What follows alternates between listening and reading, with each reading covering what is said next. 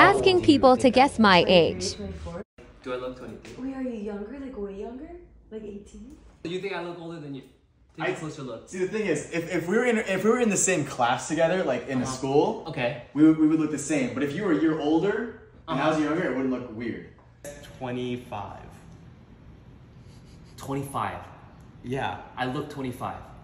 You look younger, but I feel like you're older for sure. Do I look 25? No, you don't. Your maturity. Yeah, your maturity, like talking to you. I just turned 24. Oh, you did? Oh, okay. Okay, nice. Put put 10 years on there. You're Yeah. you're 33. 34? Wait, wait, wait, that's not a joke, right? 34. Wait, I look 34. You just said you're 34. How old are you? Wait, I'm so scared. Do we have a minor in the house? I just turned 34. What? You're 34? Yeah. yeah, that's what I said too.